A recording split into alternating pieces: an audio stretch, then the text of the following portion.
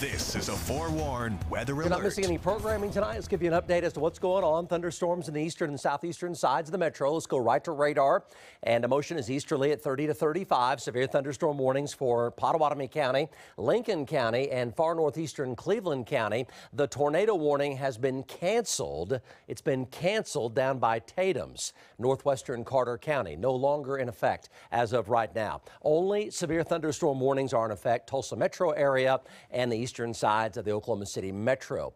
Threat here, hail and wind.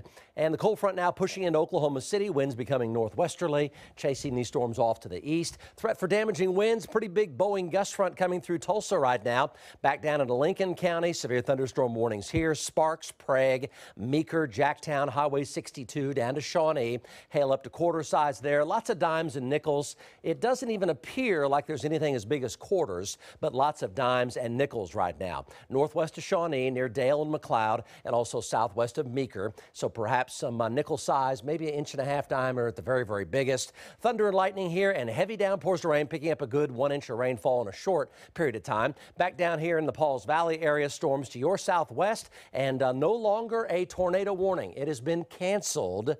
Tornado warning canceled for the Tatums area. Still a storm here with some hail and some lightning, but no longer even a severe thunderstorm warning. And the rotation has pretty much gone away altogether down by Ratliff City and Tatums. So again, repeating that tornado warning has been canceled. There's your time of arrival right there. We'll track these storms off to the east. Day with News 4 We'll keep you forewarned.